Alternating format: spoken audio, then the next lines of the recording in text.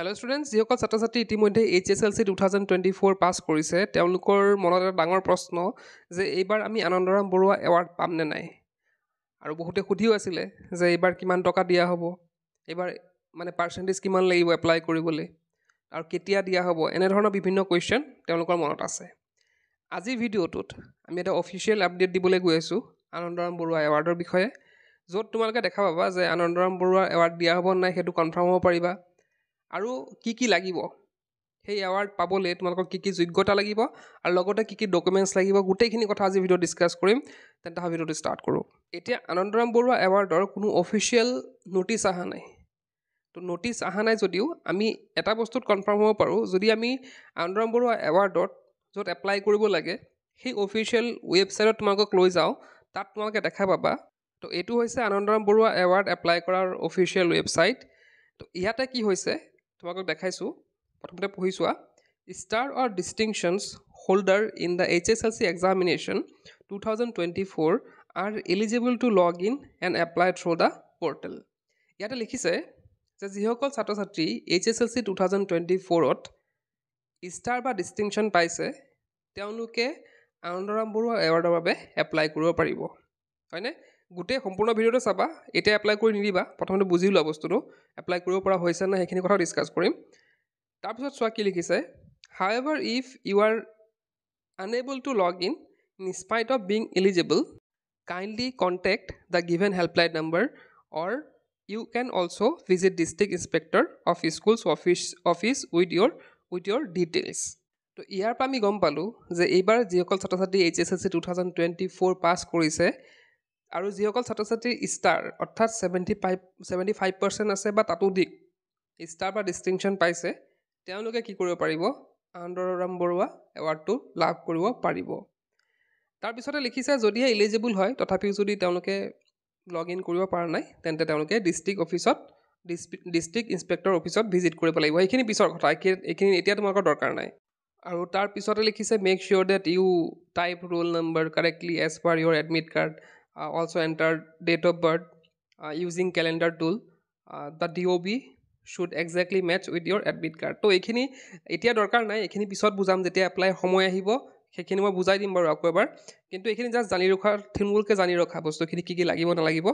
তো সেইখিনি আছিল কি আমাৰ ডেট অফ বাৰ্থৰ কথা ডেট অফ বাৰ্থৰ কথা কৈছে এডমিটত ডেট অফ বাৰ্থটো চাই পেলাই আমি ভৰাব লাগিব।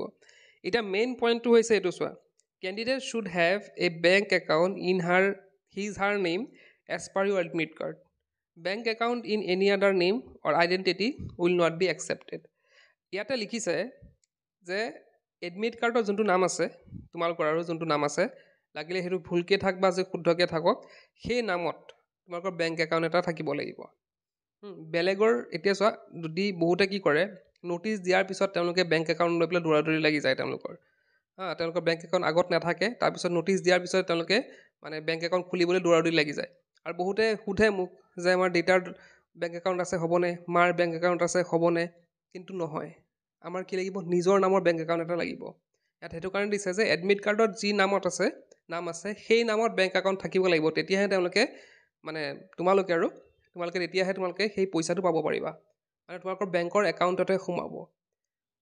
আৰু কি লাগিব চোৱা kindly keep a scan image of the front page of your bank account bank passbook with you the scan image should have your name account number I F S C and photograph clearly visible তো bank একাউণ্টৰ আৰু এটা কি লাগিব bank পাছবুকৰ যোনটো থাকিব bank passbook তাৰে স্কেন ইমেজ এটা লাগিব আপলোড কৰিব লাগিব য'ত তোমালোকৰ একাউণ্ট নম্বৰ থাকিব লাগিব তাত লিখা আই এফ এছ চি ক'ডটো লিখা থাকিব লাগিব আৰু তোমালোকৰ ফটোগ্ৰাফ তোমাৰ তাত ফটো লগোৱা থাকিব লাগিব। বহুতে কি কৰে বেংক একাউণ্টটো বনাই লয় কিন্তু ফটোখন তেওঁলোকে নলগায়। তাৰপিছত আকৌ দিগদাৰ হয় তেওঁলোকৰ খেলি মেলি লাগি যায় তেওঁলোকৰ পইচাটো সময়মতে নাপায়। গতিকে তোমালোকৰ যি যি প্ৰব্লেম আছে সেইখিনি এতিয়া ছল্ভ কৰি ল'ব লাগিব। বাকী ইয়াতে ফটো চাইজ কি লাগিব নালাগিব সেইখিনি দিয়া হৈছে। সেইখিনি আমাৰ এতিয়া দৰকাৰ নাই বৰ্তমান আমাৰ দৰকাৰ নাই সেইখিনি আমাৰ ভৱিষ্যতলৈ দৰকাৰ হ'ব। এতিয়া এইখিনিৰ পৰা আমি বুজি পালোঁ যে যিসকল ছাত্ৰ ছাত্ৰী H S L C two thousand twenty four pass কৰিছে তেওঁলোকে আনন্দৰাম বৰুৱা এৱাৰ্ডটো পাব। আৰু যিসকল ছাত্ৰ ছাত্ৰী ষ্টাৰ বা ডিষ্টিংশ্যন পাইছে তেওঁলোকে পাব এইখিনি। মানে ছেভেণ্টি ফাইভ পাৰ্চেণ্ট বা তাৰ ওপৰত থাকিলে তেওঁলোকে আনন্দৰাম বৰুৱা এৱাৰ্ডটো লাভ কৰিবলৈ সক্ষম হ'ব। এতিয়া প্ৰশ্ন হয় যে কেতিয়াৰ পৰা আৰম্ভ হ'ব? হা আৰম্ভ হ'লেই নেকি? আনন্দৰাম বড়ো বৰুৱা এৱাৰ্ড এপ্লাই প্ৰচেছটো আৰম্ভ হ'লেই নেকি? এটা বস্তু চাবা তোমালোকে এতিয়া মানে এপ্লাই প্ৰচেছটো আৰম্ভ হৈছে নাই সেইটো দেখাই দিওঁ তোমালোকক। ইয়াত দেখিছা লগ ইন তলত দেখিছা কি ৰোল বি টুৱেণ্টি থ্ৰী তোমালোকৰ ৰোলটো কিমান আছিল চাবা তোমালোকে এবাৰ এডমিট কাৰ্ডখন উলিয়াই যে তোমালোকৰ আছিলে ৰোল কিমান আছিলে? বি টুৱেণ্টি ফ'ৰ আছিলে বস্তুখিনি কি হৈছে এতিয়ালৈকে এপ্লাই প্ৰচেছটো ষ্টাৰ্ট হোৱা নাই। তেওঁলোকে এইখিনি বস্তু আপডেট কৰি ৰাখিছে। তেওঁলোকে ৱেবছাইটত এইখিনি বস্তু আপডেট কৰি ৰাখিছে কিন্তু এতিয়াও ৰেজিষ্ট্ৰেশ্যন প্ৰচেছটো ষ্টাৰ্ট হোৱা নাই। এতিয়া কেতিয়া ষ্টাৰ্ট হ'ব? এতিয়া ৰেজিষ্ট্ৰেশ্যন প্ৰচেছটো ষ্টাৰ্ট হওঁতে অকণ দেৰি হয়। কাৰণ বহুতৰে হয়তো ৰিচেকিঙৰ মাৰ্কছ আহিব। বহুতৰ হয়তো নম্বৰ বাঢ়িব। হয়। তাৰোপৰি কম্পাৰ্টমেণ্টেল এক্সামৰ কথা আছে। বহুতে হয়তো কম্পাৰ্টমেণ্টেল এক্সাম দি হয়তো তেওঁলোকে ছেভেণ্টি ফাইভ পাৰ্চেণ্ট উঠাব পাৰে। হয়তো এটা বিষয়ত বহুত বেয়া হৈছে আৰু বাকীখিনিত নম্বৰ ঠিকে আছে। তো তেওঁলোককো দিব লাগিব। গতিকে অলপ প্ৰচেছটো অলপ দীঘলীয়া হয়। মানে আনন্দৰাম বৰুৱা এৱাৰ্ডটো পোৱাৰ প্ৰচেছটো মানে টকাটো পোৱাৰ অলপ দীঘলীয়া হয়। হয়তো আৰু দুই তিনিমাহ তোমালোকে এক্সপেক্ট কৰিব পাৰা যে প্ৰায় দুই তিনিমাহ পিছতহে তোমালোকে সেই পইচাটোৰ কাৰণে বা আনন্দৰাম বৰুৱা এৱাৰ্ডৰ কাৰণে এপ্লাই কৰিব পাৰিবা। কিন্তু এটা কাম তোমালোকে কৰিব লাগিব যে নটিচ ওলোৱাৰ আগতে তোমালোকে বেংক একাউণ্টটো বনাই শেষ কৰা।